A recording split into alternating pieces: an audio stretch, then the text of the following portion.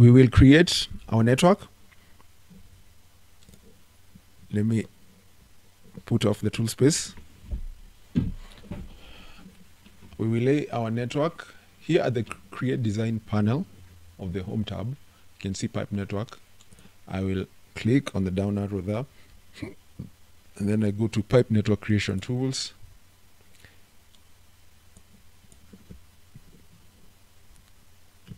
Let's call it sewerage network.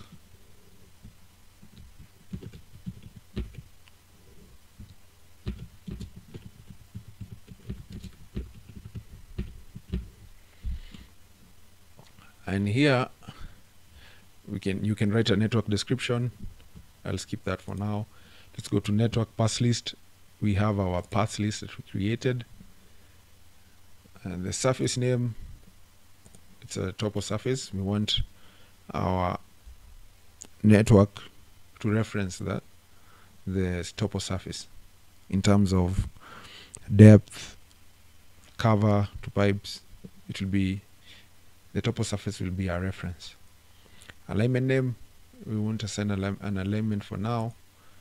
Structure label styles for our structure data with network pipes let's go with sanitary only then pipe label let's go with uh, plan description and slope. Plan length description and slope.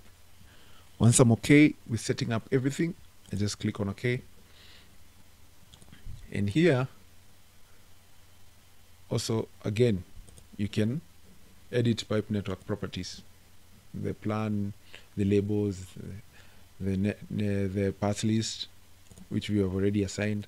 Also you can uh, reassign the surface that you want to be referenced. You can select the alignment. Here the parts list. You can change that. Okay. And here you can select the the structures that you want to start with. For example here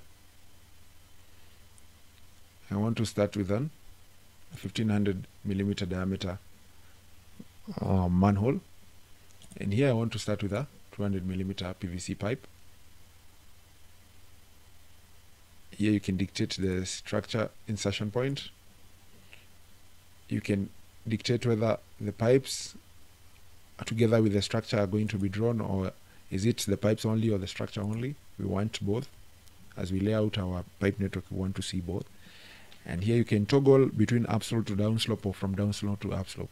Of course we want to start upslope to downslope. And that's the default here. Here you, this you can use this to delete a pipe network part. And here you can use this to go to net, network vistas or panorama. So once I'm set up I can come here and click on pipes and structures. And I can start laying out my my network. Let me start from here going going downwards